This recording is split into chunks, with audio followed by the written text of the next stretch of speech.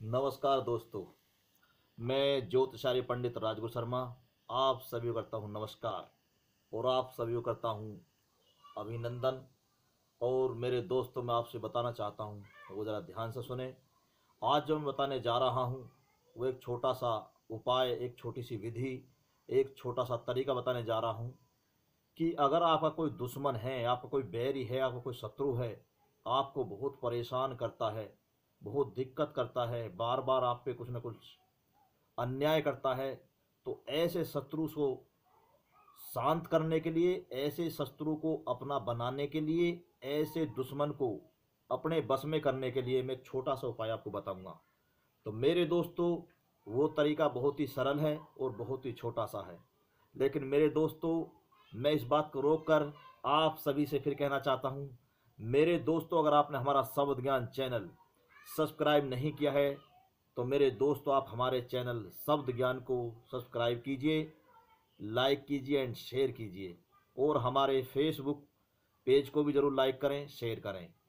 और जो भी हमारी ऑडियो वीडियो आपको पसंद आती है, अच्छी लगती है तो मेरे दोस्तों, आप उसके बारे में हमें भी कमेंट किया करें और आगे को शेयर भी किया करें।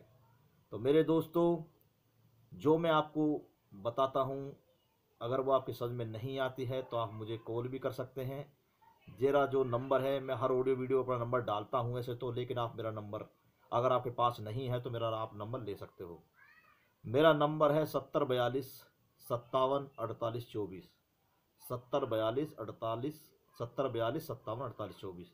तो मेरे दोस्तों, आप मेरे इस नंबर को आप मोबाइल में ऐड कर लीजिए, और कभी भी कोई संकट की कोई उपाय, कोई विधि आपको पूछनी हो मुझसे किसी के बारे में, किसी समस्या का हल पूछना हो, किसी ग्रह के बारे में आपको पूछना हो तो आप मुझे कमेंट कर सकते हैं, मुझे कॉल कर सकते हैं, मुझसे पूछ सकते हैं।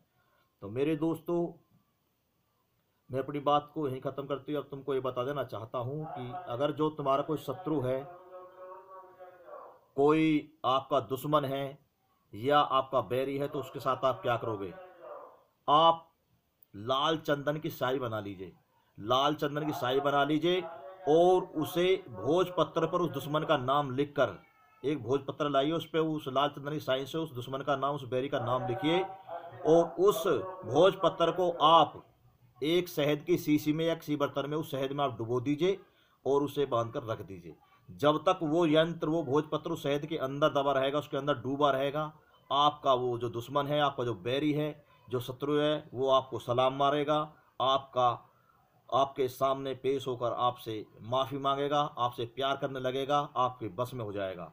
तो मेरे दोस्तों, ये यंत्र बहुत ही सरल और छोटा है, लेकिन आप इसको उस पर यूज़ किया करें, जो आपको वास्तव में सताता है, जो आपका दुश्मन है, जो आपको परेशान करता है।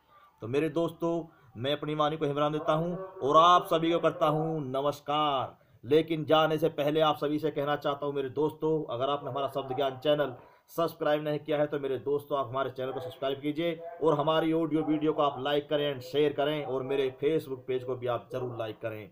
तो मेरे दोस्तों, मैं अपनी वाणी को विराम देता हूँ और जाते हुए सभी करता हूँ, नमस्कार।